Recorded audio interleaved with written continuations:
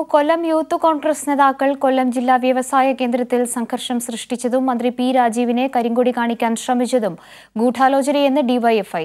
ഒരു മാധ്യമത്തിനു വേണ്ടി യൂത്ത് കോൺഗ്രസിലെ ചില നേതാക്കളുടെ നീക്കമായിരുന്നു സംരംഭക വിവാദം.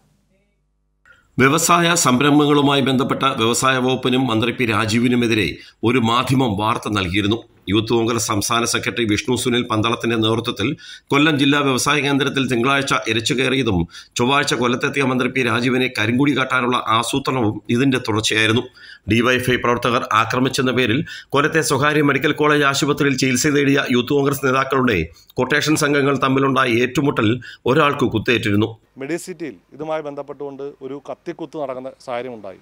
ഫൈസൽ കുളപ്പാടത്തിന്റെ നേതൃത്വത്തിൽ വന്ന തിരുവനന്തപുരം കേന്ദ്രീകരിച്ചുകൊണ്ട് വന്ന ഒരു ഗുണ്ടാ സംഘവും കൊല്ലത്തെ ഒരു ഗുണ്ടാ സംഘവും അത് വിഷ്ണു സുനിൽ പന്തളത്തിന്റെ നേതൃത്വത്തിൽ വന്ന ഒരു ഗുണ്ടാ സംഘവും മെഡിസിറ്റി ഹോസ്പിറ്റലിന് മുമ്പിൽ പരസ്പരം ഏറ്റുമുട്ടുകയും ഒരു നസീർ എന്ന് പറയുന്ന വിഷ്ണു സുനിൽ പന്തളത്തിന്റെ ഗുണ്ടാ സംഘത്തിൽപ്പെട്ട ഒരാൾക്ക് കുത്തിയേൽക്കുകയും അയാൾ മെഡിസിറ്റിയിൽ ചികിത്സയിലാണ്. കുത്തിയത് ഫൈസലിന്റെ സന്തക സഹചാരിയായിട്ടുള്ള പൊട്ടാസ് എന്ന് വിളിക്കുന്ന നിഷാദ് എന്ന് പറയുന്ന ആളാണ്.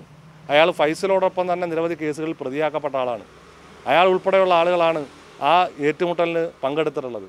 മന്ത്രി പി രാജീവ് കൊല്ലം പ്രസ് ക്ലബ്ബിൽ ചൊവ്വാഴ്ച വൈകിട്ട് വാർത്താ സമ്മേളനം നടത്തിയ ശേഷമാണ് അമ്പത് മീറ്റർ അകലെയുള്ള സ്വകാര്യ ഹോട്ടൽ ജില്ലാതല നിക്ഷേപ സംഗമം ഉദ്ഘാടനം ചെയ്യാനെത്തിയത്. രണ്ടിടത്തും യൂത്ത് കോൺഗ്രസ് ക്രിമിനൽ സംഘം നേരത്തെ നിലയുറപ്പിച്ചിരുന്നു.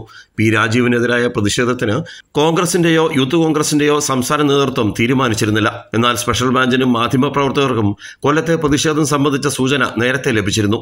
അതേസമയം ഫൈസൽ കുളപ്പാടത്തിന്റെ ഗുണ്ടാബന്ധവും ക്രിമിനൽ കേസുകളെ സംബന്ധിച്ച അന്വേഷണവും ആവശ്യപ്പെട്ട് ഡിവൈഎഫ്ഐ മുഖ്യമന്ത്രിക്കും പോലീസ് മേധാവിക്കും പരാതി നൽകി. കൈരളി ന്യൂസ് കൊല്ലം.